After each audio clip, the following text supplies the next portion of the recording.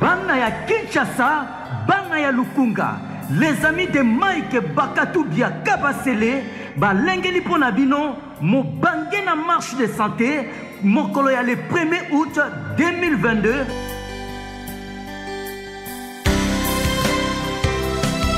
Na ngonga ya 7 heures, kobanda na Saint Sacrement ti na Cite Verte.